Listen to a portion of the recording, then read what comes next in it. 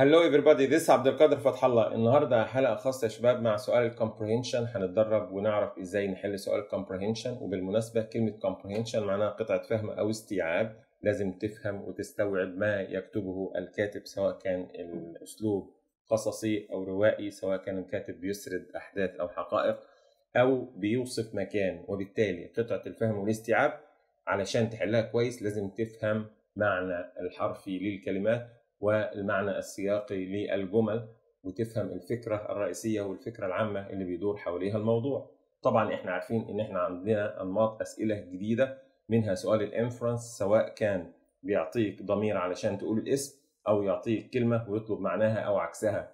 وأيضا هناك سؤال the purpose of the writer اللي هو الغرض والهدف من كتابة القصة أو الفقرة أو القطعة. وبالتالي شباب عندنا أنماط كتير جديدة لازم علشان تحل الأنماط ديت لازم تركز وتقرأ ما بين السطور وتركز وتقرأ القطعة أكتر من مرة وإن شاء الله إحنا النهارده مجهزين لكم ثلاث قطع استيعاب. الثلاث قطع إن شاء الله في مستوى الطالب المتوسط هنحلهم مع بعض ونعرف إزاي نتدرب على أنماط الأسئلة الجديدة. Stay tuned.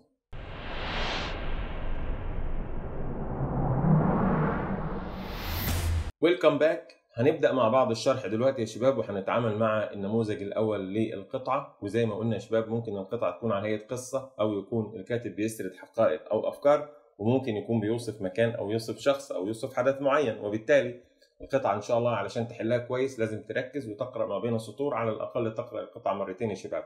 خلينا نتابع مع بعض الحل. Grade 9 Comprehension Exercises. Comprehension number one, read the following passage to answer the questions. We know that editors have organized the newspapers well for readers with the most important stories on page one with big headlines and stories of lesser importance somewhere in the back of the newspapers. That isn't the way that we read them though. Otherwise produced strange fruits in large sizes. Some people thought that those trees were dangerous. الآن وقت القراءة كما تعودنا يا شباب هنبدأ الأول بالقراءة وبعد كده أطلب منك إنك تقرأ وننتقل من فقرة أنا أقرأ وبعد كده أنت تقرأ حتى نصل إلى مرحلة الأسئلة ونحل كلنا مع بعض. So, it's your time to read. Start now.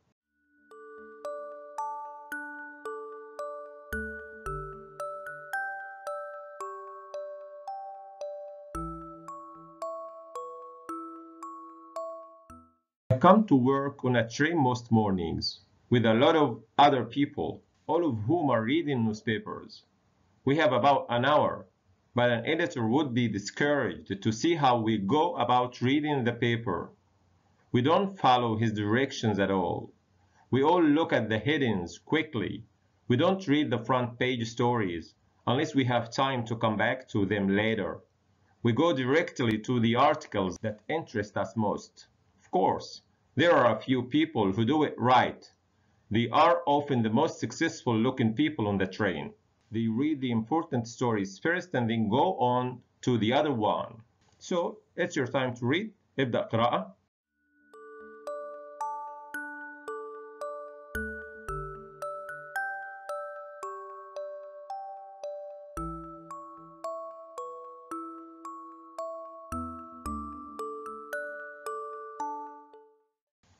Other newspapers readers on the train. Buy a good newspaper.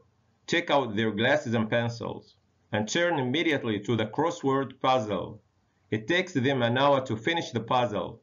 And I don't think that many of them ever look at anything else in the paper. الآن ابدأ في قراءة الفقرة الثالثة.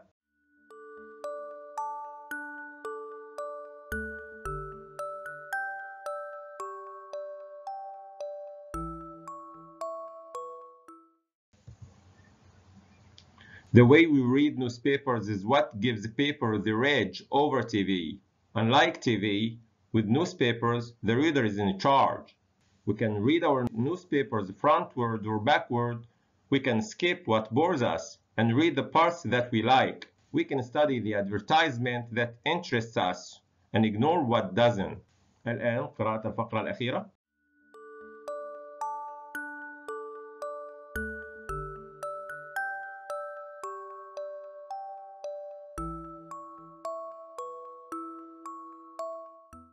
شايفين كده يا شباب في الفقرة الأولى. إحنا الموضوع طبعا بيتكلم كله عن newspapers الجرائد newspapers.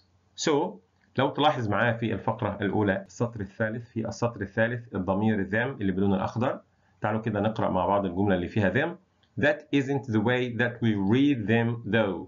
نلاحظ كلمة them أو الضمير them بيعود على كلمة قبلها. ممكن تكون الجملة اللي قبله مباشرة وممكن تكون الجملة اللي قبل الجملة اللي فيها them. So يفضل إنك تقرأ الفقرة كاملة. علشان تستشف وتستنتج الضمير بيعود على أي اسم موجود قبله. So تعالوا كده نشوف الفقرة الأخيرة يا شباب والسطر الأخير. عندنا الفعل ignore. لاحظ كده معايا من بداية الجملة. We can study the advertisement that interests us. Okay? And ignore what doesn't. ملاحظ كده الفعل ignore. Ignore فعل يا شباب. زي ما انت شايف من معنى الجملة حاول تخمن وإن شاء الله تصل لمعنى الفعل ده. ممكن يطلب منك في السؤال معنى. أو ضد فلازم الأول تعرف المعنى الأصلي للفعل في الجملة ومن خلال السياق وبعد كده تبدأ تفكر في السؤال وطبيعة السؤال So let's move on. Choose the correct answer from A, B, C, and D. طبعا 12 درجة يا شباب. So number one. Which of the following would be the best title of the passage? أفضل عنوان للقطعة يا شباب. مركز اللون الأحمر best title يعني أفضل عنوان. بندور أو بنبحث عن أفضل عنوان يا شباب. أفضل عنوان بنطلعه إزاي؟ لازم نقرأ القطعة كويس ونستشف المعنى الكلي الفكرة الرئيسية للفقرة كلها وبعد كده من خلال معرفة الفقرة الرئيسية تقدر تحط عنوان مناسب. تعالوا كده نشوف الإجابات. What people do on trains, why newspapers are important, how people read newspapers, how people solve crossword puzzles. هم؟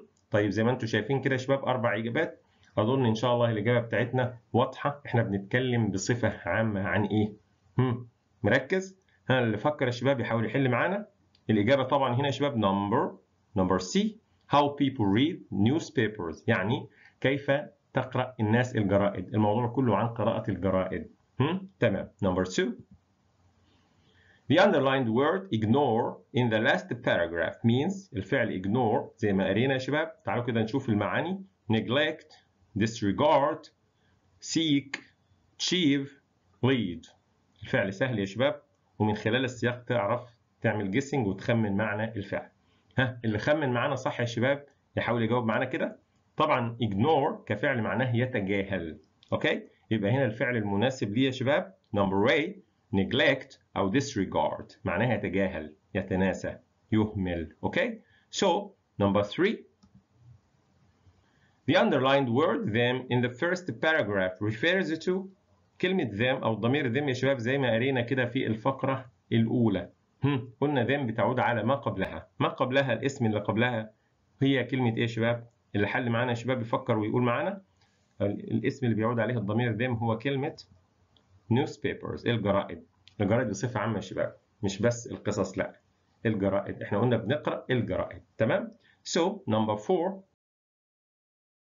According to the third paragraph the writer thinks that many of those who do crossword puzzles الناس اللي بتلعب أو بتحل الكلمات المتقاطعة في الفقرة الثالثة يا شباب تحديدا السؤال عن الفقرة الثالثة بس تمام؟ الكاتب يعتقد إن الناس اللي بتحل الكلمات المتقاطعة دي إيه؟ تعالوا كده نشوف الإجابات always read everything else that there in a newspaper rarely read anything else that there in a newspaper are not that smart because they take too long doing puzzles should read a newspaper backward not frontward so زي ما انت شايف كده يا شباب الإجابة هنا يا شباب هتكون إيه؟ الناس اللي بتحل الكلمات المتقطعة دي بتهتم بحاجة تانية في الجريدة من خلال قراءتك وفهمك للسؤال طبعا هم بيشتروا الجريدة بس علشان الكلمات المتقاطعة. يبقى الإجابة المناسبة هنا يا شباب هي كلمة rarely read anything else that there in a newspaper. بس ما بيقرأوش أي حاجة تانية وما بيعملوش حاجة تانية خالص غير إن هم بيحلوا الكلمات المتقاطعة. So number five according to the last paragraph الفقرة الأخيرة بس all the following statements are true except يعني كل الإجابات موجودة عندنا صح ثلاثة صح. ما عدا واحدة بس هي اللي غلط بن, بنبحث عن الجملة الخطأ تعالوا كده نقرأ مع بعض readers can read the parts they like in newspapers readers can skip advertisement that interest them readers can skip the parts that bore them in newspapers readers can read newspapers either frontward or backward so الإجابة يا شباب هنا إحنا قلنا في الفقرة الأخيرة لما تحب تطلع جملة خطأ يا شباب هم الإجابة طبعا واضحة إحنا قلنا بتحب تسمع أو تقرأ اللي أنت بتحبه. طب اللي أنت ما بتحبوش بتعمل فيه إيه؟ يبقى الإجابة كده قريبة جدا من اللي أنا قلته. يبقى إحنا عندنا هنا الإجابة number B. Readers can skip advertisement that interest them. يعني لا ده المفروض الحاجات اللي ما بيحبوهاش هم اللي يتخطوها. يبقى إحنا عندنا هنا الإجابة الخطأ number B. So باقي الإجابات صحيحة. Number 6 the purpose of the writer is to الغرض والهدف من كتابة القصة أو المقالة اللي إحنا قرأناها persuade us to read newspapers entertain us with a story about newspapers inform us of the different ways people read newspapers explain us how editors organize newspapers so طبعا الغرض والهدف عند الكاتب هو إيه يا شباب. إحنا قلنا بنتكلم عن إيه الفكرة الرئيسيه كانت عن إيه عن قراءه الجرائد الموضوع عن قراءة الجرائد. يبقى هو بيخاطبنا علشان يدينا معلومات عن إيه؟ عن طرق مختلفة لقراءة الجريدة. يبقى الإجابة number C inform us of the different ways people read newspapers. يعني الطرق المختلفه الناس اللي بتقرأ الجرائد كل واحد بيقرأ بطريقته. So كده إحنا خلصنا الاختياري. تعالوا ننتقل إلى الاسئله المقاليه answer the following question. طبعا عندنا سؤالين مقاليين يا شباب. كل سؤال عليه درجتين. إجمالي الدرجات أربع درجات. Number 7 How do the most successful looking people read newspapers؟ طبعا الناس الناجحة successful looking people الناس اللي تبدو ناجحة في الحياة يعني هي بتقرأ الجرايد وبتقرأ أي جزء في الجرايد يا شباب الإجابة واضحة جدا يا شباب تعالوا نجاوب كده مع بعض They read the important stories first and then go on to the other one. بيبدأوا بالقصص المهمة اللي هي في الصفحة الأولى الأول وبعد كده ينتقلوا إلى الأقل أهمية. So number eight, where in a newspaper would you look for important news and stories? يعني في الجريدة أين تبحث عن الأخبار المهمة والقصص المهمة؟ طبعا إحنا متفقين وزي ما قرينا في بداية الفقرة قلنا الحاجات المهمة دايما موجودة فين؟ موجودة في المقدمة. I should look at the front page of a newspaper. I should look at the front page of a newspaper. يعني ببدأ بالصفحة الأولى في الجريدة فيها كل حاجة مهمة من العناوين الرئيسية للقصص. So بكده يا شباب إحنا خلصنا الفقرة الأولى. ننتقل دلوقتي مع بعض للفقرة الثانية اللي إحنا مجهزينها قطعة الفهم الثانية. خلينا نشوفها مع بعض. Comprehension number two. Read the following passage to answer the questions. هنبدأ يا شباب بالقراءة كالعادة هبدأ أقرأ الأول وبعد كده تقرأ ورايا 25 years ago communication between people was very different from communication today to call friends quickly we used a telephone to ring them if time wasn't important we wrote a letter and sent it by post for fast written communication people sent faxes الآن دورك في القراءة ابدأ القراءة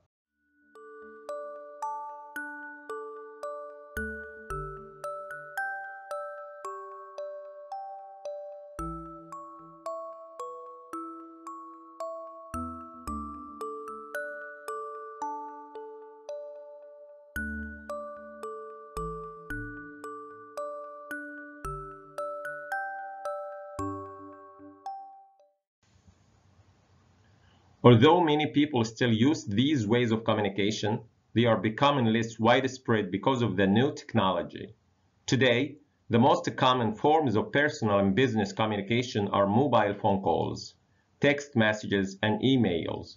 Many people now use smartphones with computers which can connect to the internet and send emails. الآن تابع قراءة الفقرة الثانية.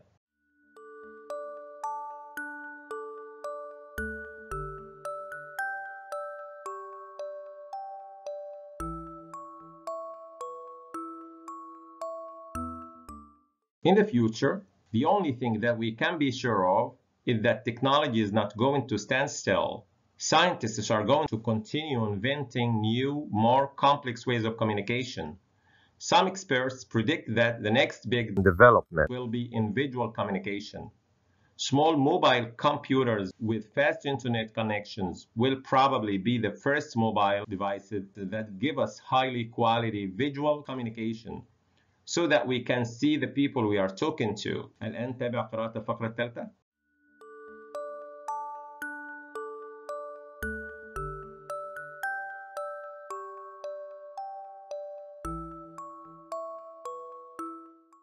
Further in the future, who knows what will happen?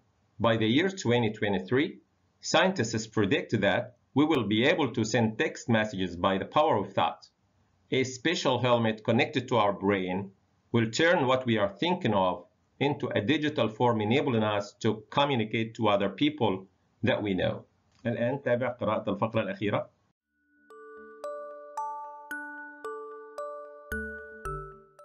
So زي ما احنا شايفين يا شباب وكالعادة هنبدأ بالفقرة الأولى عندنا الضمير it زي ما احنا شايفينه تعالوا نقرأ كده الجملة اللي فيها it If time wasn't important we wrote a letter and sent it by post الجملة واضحة جدا هم. ترسل إيه؟ sent it. هم. الإجابة طبعا واضحة في الجملة اللي قبلها. ركز علشان تعرف الضمير وتشوف الاسم اللي بيعود عليه. تمام. تعالوا في الفقرة الثانية كده مع بعض؟ صفة widespread نلاحظ كده widespread صفة يا شباب. تعالوا كده نقرأ الجملة اللي فيها widespread من أول الفقرة. Although many people still use these still use these ways of communication they are becoming less widespread. ليه؟ Because of the new technology؟ ركز كده widespread معناها واضح من خلال السياق. لو فهمت الجملة هتفهم كلمة widespread إحنا كده يا شباب الموضوع بتاعنا طبعا بيتكلم عن الكوميونيكيشن التواصل. ولو أنت فهمت الفقرات عندنا طبعا إجمالي الفقرات أربع فقرات. حاول إنك توقف الفيديو تسمعها وتقرأها مرة ثانية لو حبيت تقرأها تقرأها مرة واثنين قبل ما تخش معانا وتبدأ تحل معانا الأسئلة. So let's move on. Choose the correct answer from A B C and D. The best title for this passage could be أفضل عنوان للقطع يا شباب. ما زلنا مع سؤال. The best title أفضل عنوان. زي ما قلنا الفكرة المسيطرة على الموضوع كله. لازم تبقى عارف الموضوع والفقرة بتتكلم أو الفقرات كلها بتتكلم عن إيه. تعالوا كده نشوف الإجابات. Digital thinking Visual communication. Communication development. The importance of communication. مركز معايا؟ طبعا أنت لو هنا فهمت الفقرات كلها وعرفت إن في كل فقرة بتتكلم عن موضوع بس وهو إيه يا شباب؟ اللي فكر معانا يحل. ها الإجابة طبعا number C communication development. اللي هي يا شباب التنمية تنمية الاتصالات. عملية الاتصالات كلها. هم؟ تنمية الاتصالات وتطور وسائل التواصل. So الفقرة الأولى سهلة أو السؤال الأولاني سهل. Number two. The underlined word widespread in the second paragraph means كلمة widespread معناها يا شباب واسع الانتشار. أوكي so الكلمة اللي بتقابلها وبتساويها في المعنى هي إيه يا شباب؟ Weak common modern different. weak common modern different. الإجابة طبعا واضحة برضو يا شباب. أنا قلت widespread معناها واسع الانتشار. أكيد أنت فكرت في كلمة وفكرت في إجابة. يلا بينا كده نشوف وشيك على إجابتك معايا. طبعا الإجابة هنا يا شباب اللي بتساوي كلمة widespread هي الإجابة common. أوكي؟ common معناها شائع أو واسع الانتشار. So number three. The underlined pronoun it in the first paragraph refers to الضمير it شباب في الفقرة الأولى بيشير إليه شباب letter, time, telephone, communication. مركز معايا؟ طبعا الضمير it بيعود على كلمة واحدة بس يا شباب وإحنا حاولنا إن إحنا نسهل عليك الإجابة ونلمح لك. طبعا الإجابة واضحة يا شباب اللي حل يحل معانا. الإجابة هنا يا شباب كلمة letter اللي هي الرسالة يا شباب. الضمير العائد على letter اللي هي الرسالة. So number four How did people communicate in the near past? في الماضي القريب. إزاي الناس كانت بتتواصل مع بعضها؟ They used smartphones.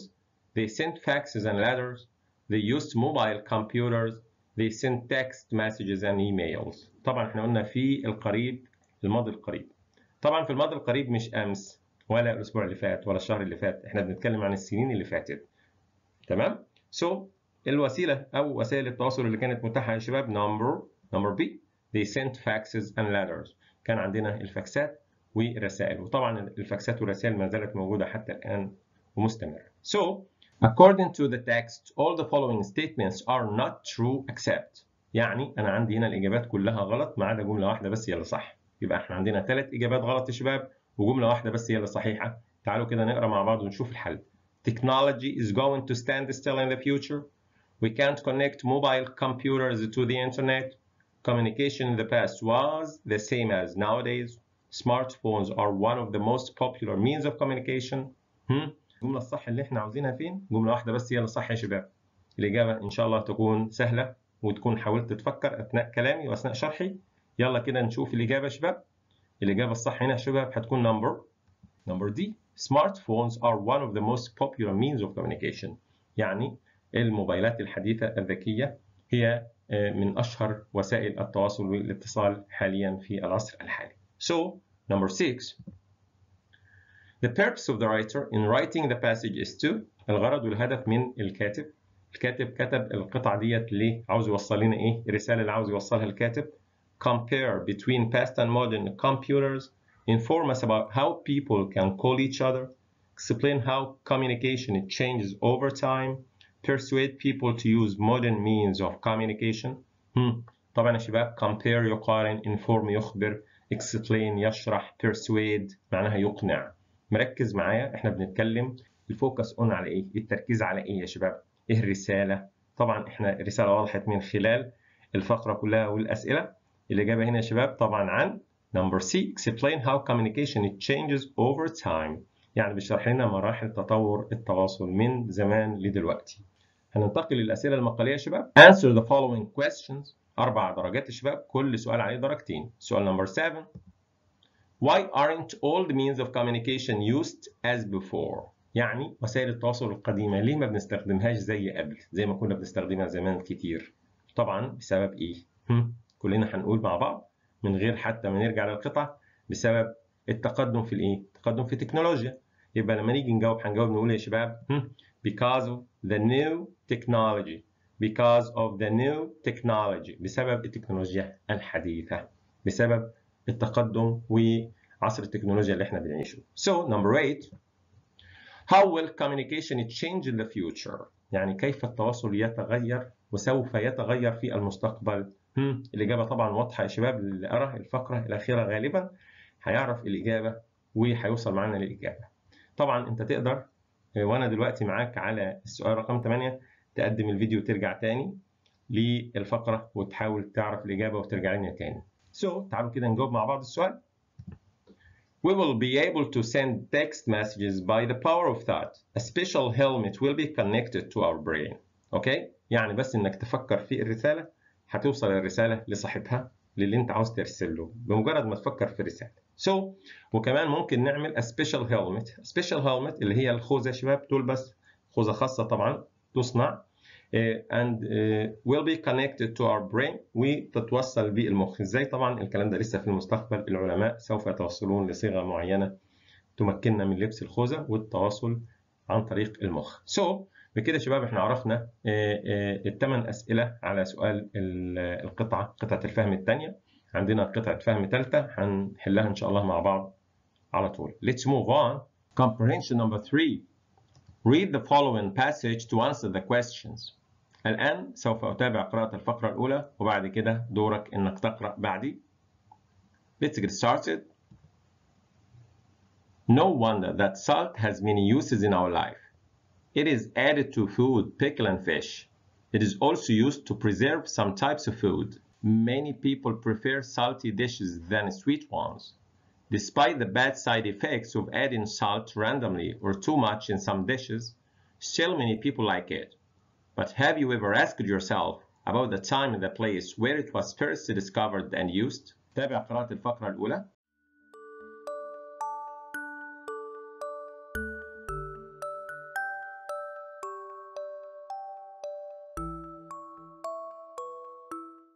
In fact, we don't know when man first began to use salt, but we do know that it has been used in many different ways throughout the history. People who lived over 3,000 years ago ate salted fish. Thousands of years ago in Egypt, salt was used to embalm the dead. Stealing salt was considered a major crime during some periods of history. تابع قراءة الفقرة الثانية.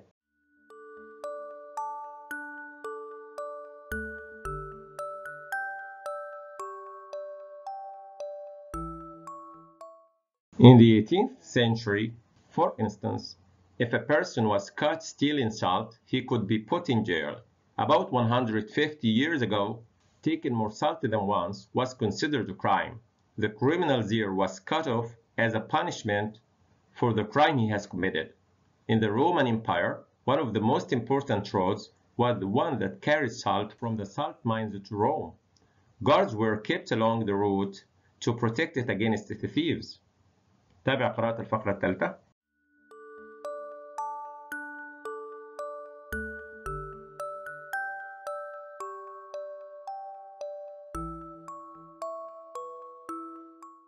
In the early days in the USA, salt was scarce, so the storekeeper was very careful with his salt. As he poured out salt for his customers, he didn't like anyone to cross the floor of the store. تابع قراءة الفقرة الأخيرة.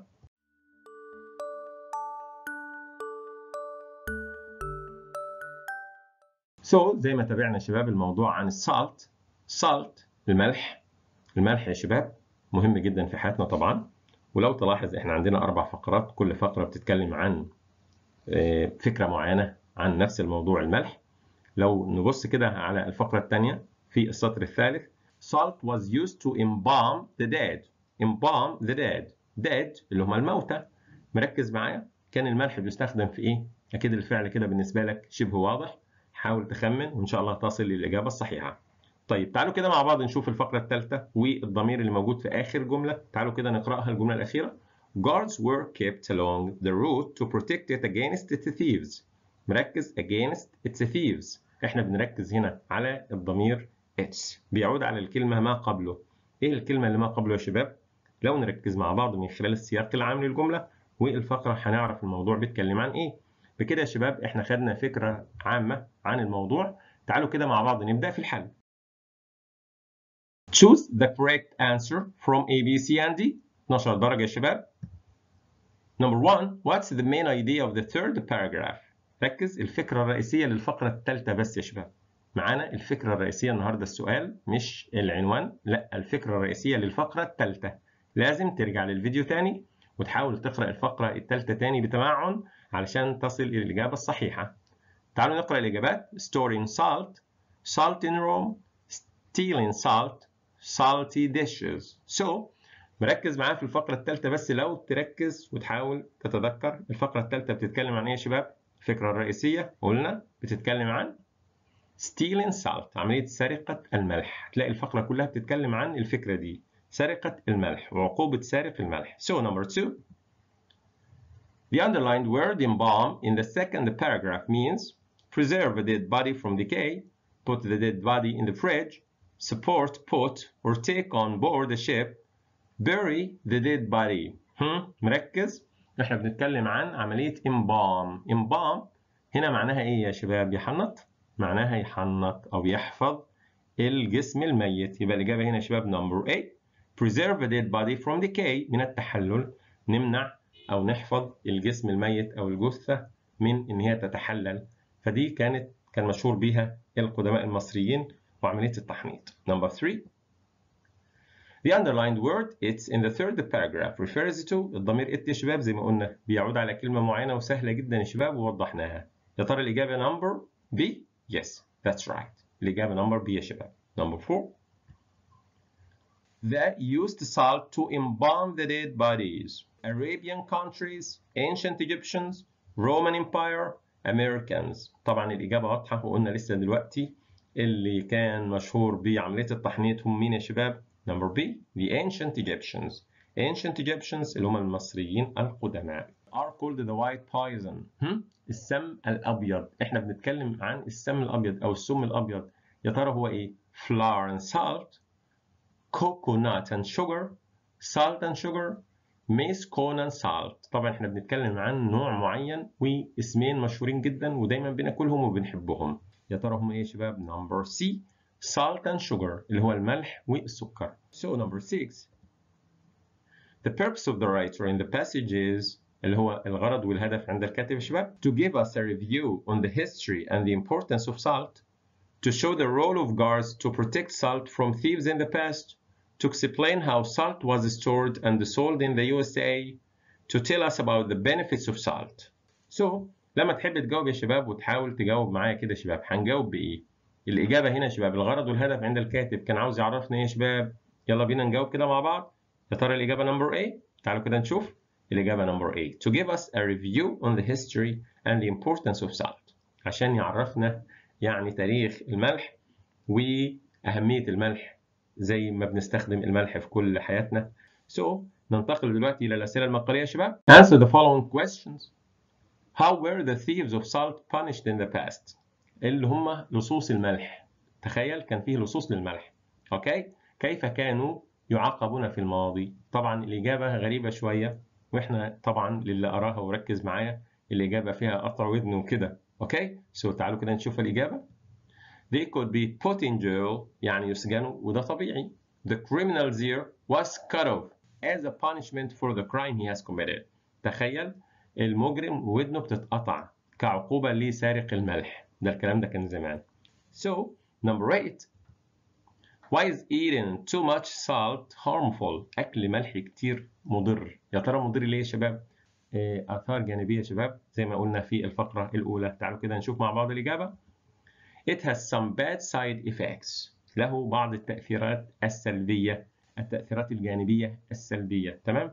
منها شباب أمراض ضغط الدم والقلب زي ما إحنا عارفين. So That's it. بكده شباب خلصنا ثلاث نماذج مهمة جدا لحل القطعة والاستيعاب. وقلنا القطعة اسمها قطعة فهم واستيعاب. لازم تفهم ما يدور من أحداث وتركز ما بين السطور لأن أحيانا تكون الإجابة ضمنية يعني محتاجة فهم علشان تفهمها. الإجابة مش بشكل مباشر. وأحيانا تكون صريحة في سؤال فخلي بالك علشان أنماط الأسئلة الجديدة دي تتطلب فهم واستيعاب لما يدور من أحداث في القطعة بكده نكون وصلنا لنهاية حلقتنا يا شباب. أرجو أنكم تسمعوا الحلقة أكثر من مرة وتعرفوا زميلكم بحلقة المراجعة. نختم كما علمنا رسول الله صلى الله عليه وسلم سبحانك اللهم وبحمدك نشهد أن لا إله إلا أنت نستغفرك ونتوب إليك.